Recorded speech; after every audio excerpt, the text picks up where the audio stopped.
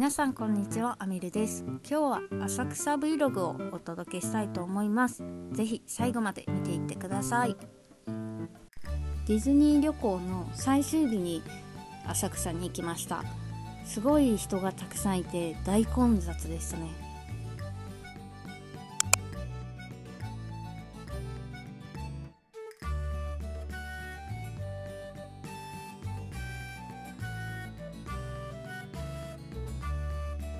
この日口内炎と矯正の器具で怪我しているのとで口の中がもう悲惨な状態だったんですね。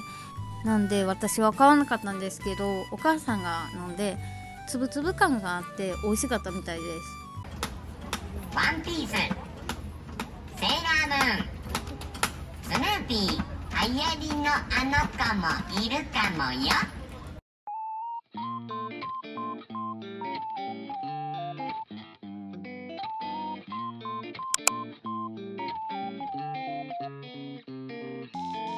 このメンチカツは東京に来る前からもう目をつけてたんですけどいざ食べてみたらもう衣はサクサクであったかいしすごい美味しかったです。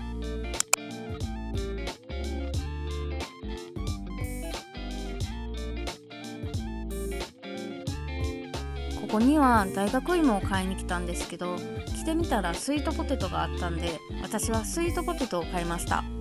家族が大学芋を食べたんですけど熱々ではないんですけど外はカリカリで中はホクホクだったみたいです。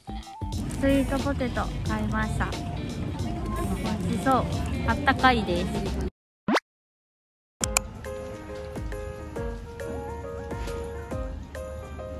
ここはインスタで見つけて絶対食べたかったんで一人で並びましたメロンパンの中にアイスとかクリームとか入れれるんですけど私はこの後アイスを食べる予定があったんでホイップクリームを入れました。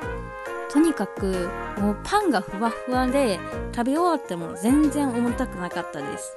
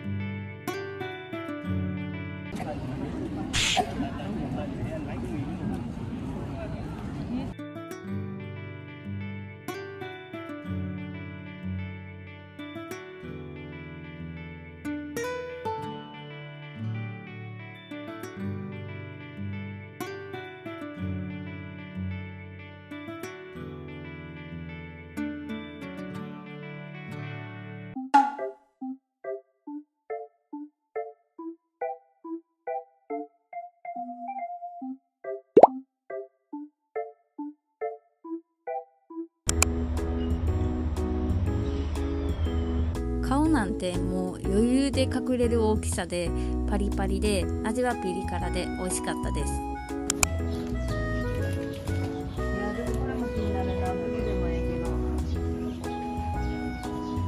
こんな感じで紫芋を目の前で絞ってくれます。紫芋の下はホイップクリームとバニラアイスと焼き芋が入ってました。すごいねボリューミーで美味しかったです。ちなみにお母さんは焼き芋ブリュレを頼んでました。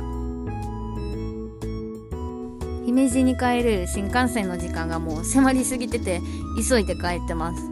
どうでもいいんですけどこうやって歩いてたらカップルって思われてそうで嫌です。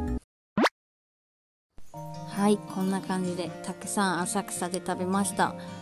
いやまだまだね食べたいのはいっぱいあったんですけど時間が足りなすぎて帰ります。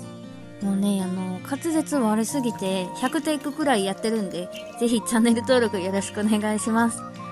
バイバーイ。